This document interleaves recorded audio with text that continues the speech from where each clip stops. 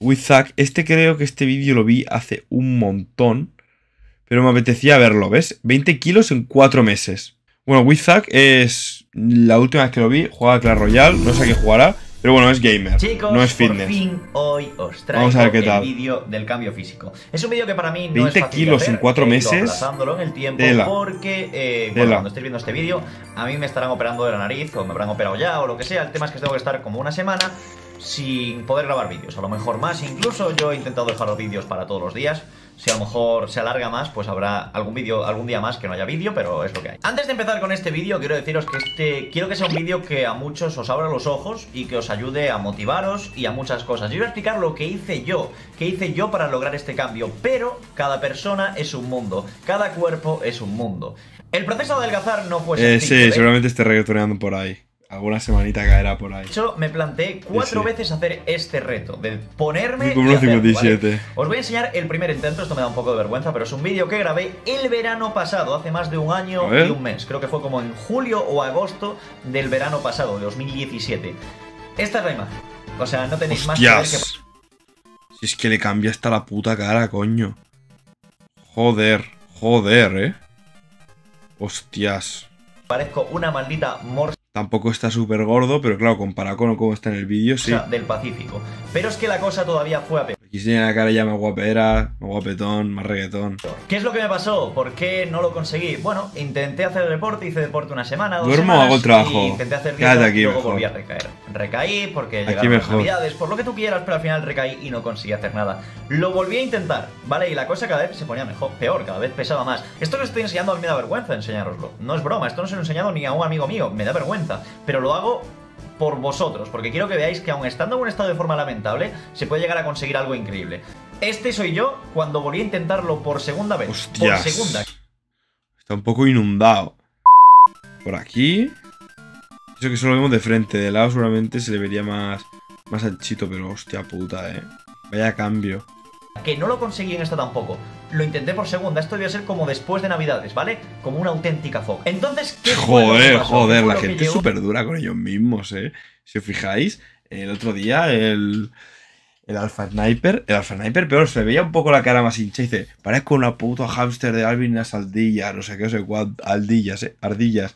Pero él, a ver, está un poco más pasado de lo normal, pero tampoco es una puta foca enorme, tío. Llegó un día decir, mira, hasta aquí. Podría ser, es Pues que básicamente- si te pones así, podría ser mucho peor. Mucho peor. Realmente, chicos, cuando llegas Mucho a este peor. estado de forma, eh, ya no es, esto no es un, un problema. Hay gente que no lo ve como un problema al estar gordo. Simplemente hay gente que va de sus problemas bebiendo, hay gente que va de sus problemas comiendo. Yo Y nosotros en el gimnasio. Me gusta comer, me encanta comer y aún a día de hoy. Nosotros en el gimnasio. Muchas gracias, bro, con cosas por. Prime, Entonces, motherfucker. cuando llegas a este punto no te apetece hacer nada, no quieres salir de casa porque no quieres que la gente te vea porque estás como una foca. No quieres Joder, hacer bro, es que verdad, no sabe hasta mal ya. Es que tampoco estás tan, tan, tan, tan, tan gordo como para llamarse foca. Se está pasadito, sí. Y lo ves en el vídeo. Y Pavo me diría. Pesaba, si ha dicho que pesaba 90 y algo y medía un 83, está 10, 15 kilos por encima de su altura. Vale que no sea masa muscular. Pero eso no quiere decir que estás gordo. Es decir, que se- vamos, se está poniendo es una foca. Y tampoco es para tanto. O sea, está pasado, sí. Pero no es una foca. estás como una foca y sabes que te Otra vez, venga, me cago en mi puta vida. Venga. Entonces hubo un día que dije, mira, hasta aquí. Pesaba 98,6 kilos. Y dije, no puede ser, no puedo llegar a los 100 porque es que nos vamos de locos. Entonces dije, mira, voy a empezar a hacer dieta, voy a empezar a hacer deporte, vamos a darle caña. Empecé Estaba pasado, pero tampoco era nada así súper loco de. Buah, es que va a pillar diabetes. No, no, no, para nada. el día 16 de abril, ¿vale? Para que os hagáis una idea, hace exactamente ahora mismo unos 4 meses y medio. Lo que pasa es que la dieta ya la acabé hace tiempo, pero en verano me lo he tomado de relax y he esperado hacer este vídeo a que fuera eh, la operación de la nariz. Para el que no lo sepa, no respiro por la nariz, tengo solo un 40% de respiración, con lo cual para hacer deporte y para todo, para dormir, no es bueno, así que he decidido operarme, ¿vale?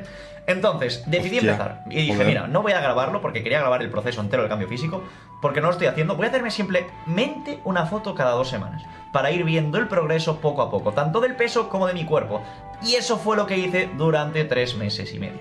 Una foto de la báscula y de mi cuerpo durante todo ese plazo. Eso es lo que vamos a ver ahora y vamos a comentar con vosotros, ¿vale? Tanto en la foto de cuando empecé como de mi peso y los progresos cada dos semanas. Bueno, en primer lugar, comentaros que la foto del peso la hice en 96,1 cuando ya llevaba una semana con la dieta y el deporte, ¿vale? La hice un poco más tarde porque al empezar no sabía si iba a empezar o no y dije, bueno, parece que está yendo bien, así que empiezo. La hice en 96,1, mi peso máximo fue 98,6. Y este, chicos, soy yo con 98,6 kilos. Aunque... Ojo la cara de, de, de, te mato. A ver, se le nota hinchado los brazos, no, no de fuerte, ¿eh? hinchado de retención y de chicha. Las piernas siempre se tapan, siempre. Eh, esto de aquí es un poco raro. Sí, a ver, está pasado, pero foca a foco. No sé, se le ve estirado por lo menos, tampoco se ve súper ancho, pero sí, sí, que le sobran kilos, le sobra, y la barriga redondita dos semanas siguientes pasé de 96 a 91 en apenas una semana y media. Y de hecho 89,7. Que eh, esto es que a veces me motivaba, me pesaba el viernes. Yo, mi idea era pesarme siempre los domingos. Pero a veces me motivaba, me pesaba el viernes, 91,6. Veía que iba avanzando. Cuando ves que vas avanzando, te vas motivando más. Según te motivas, vas consiguiendo más cosas, ¿vale? 89,7. Y este era mi estado con 89,7. Ojito, ojito, ¿eh? Mira cómo me baila. Me dijo tráela. A ver, los primeros kilos son los más fáciles de bajar. Pensad que eh, mucho retención eh, y encima las primeras calorías son las más fáciles. Al cuerpo no le gusta estar pesando tanto, al cuerpo le cuesta. Entonces a la que le empiezas a quitar la comida de mierda, baja, baja tirado. Luego ya empieza a costar cada vez más y más y más. Pero los primeros kilos y más cuando estás tan pasado, te cuestan mucho. Y por cierto, esa gafa le queda muy bien. Y espera, yo, ignorar la cara esa de mongolo de... Eh, está recién levantado. Pero bueno, ya el cuerpo se empieza a ver bastante mejor. 81,5, una semana después, un kilo menos. Este es mi resultado. Ya sin estar ahí sin respirar, pues ya se marcaba bien el. Está muy reggaetón. Se nota, eh, tío. Me apetece cambio. Me apetece cambiar. Se está, aquí está quedándose calisténico. Eh, es lo que él quiere. Él no quiere estar fuerte porque si para lo que estaba antes ya era ser una foca. El cuerpo, la barriga baja recta, se marca el pecho, incluso se ve un abdominal oblicuo, los brazos han bajado, la cara ha bajado también, eh, o sea, aquí estaba ya, ya feliz y contento. 78,4. ¿Qué ha pasado aquí? Pues simplemente que me cambié al Razer Phone y tengo una última foto con 78,4 kilos. Fue cuando fui a Colonia, ¿vale? Me hice esta foto en el hotel. Como veis, pues bueno, se ven los abdominales, se ve el pecho, se me ve a mí, ese es el iPhone X. y después ya... el pecho no es una mierda, cabrón. Si no tiene. Vale, ya tengo la foto que os decía del Razer Phone, ¿vale? Estáis viendo que este es el Razer Phone. Este soy yo, esto soy por la mañana. 78,4 kilos, pues mira, ya se ven aquí el pecho, se ve bien, los brazos también, abdominales, bueno. He estado un tiempo sin hacer deporte ahora porque he tenido que trabajar desde hace 5 días para dejar los vídeos listos para la operación. Pero como estáis viendo ya, estoy delgado, ¿vale? Estoy bien, la cara está bien, el cuerpo está bien y estoy feliz. Para empezar, quiero eh, aclarar que no he tomado ningún suplemento, ni proteína, ni ¿Has tomado esteroides? Creatina, ni L-carnitina, ni óxido nítrico. ¿Óxido nítrico? ¿Qué coño es eso? Ciclos de nada. Eh, me lo sé porque tengo muchos amigos de gimnasio. Pero nunca, lo, tiene pana. nunca lo he necesitado. También os digo, ¿vale? Que quede claro que tengo buena genética. ¿Vale? Yo siempre he tenido buena genética para estar en forma, con lo cual a muchos os va a costar más, a otros a lo mejor os cuesta menos. Pero bueno, yo tengo una genética, gracias a, gracias a Dios, que no es mala, ¿vale? Para, para el gimnasio y para esas cosas. Y eso me ayuda bastante. Lo dice como pidiendo perdón. Vamos a empezar con el deporte, ¿vale? Durante el primer mes lo que hacía era ir al gimnasio y de pesas y esas cosas prácticamente no hacía nada. Hacía, hice un reto de 100 flexiones, ¿vale? Hay un reto que se llama 100 flexiones de Men's Health. Simplemente es eh, de 6 semanas para conseguir hacer 100 flexiones seguidas. Hacía eso los días que marcaba, lunes, miércoles y viernes, y abdominales, un poco de, cada músculo para no dejarlo fofo tampoco, y luego me hacía sobre todo una hora de elíptica. No, a partir del primer mes, cuando acabó el primer mes, eso lo hice durante un cuanto tiempo, simplemente hacía elíptica, hacía spinning y luego hacía flexiones y abdominales. Ya está, ni bíceps, ni tríceps, ni nada. O sea, lo que veis es solo de flexiones y abdominales. Repito, esto me sirve a mí, porque yo tengo esta genética porque mi metabolismo es así. A lo mejor a vosotros os sirve otra cosa. Entonces, ir Sí, a, nosotros nos sirve el arroz y el pollo. A nosotros nos sirve el arroz y el pollo y entrenar como unos desgraciados. ¿Qué comidas hacía? Yo por la mañana desayuno fuerte. Para mí, que tengáis en cuenta que el desayuno es la comida más importante del día.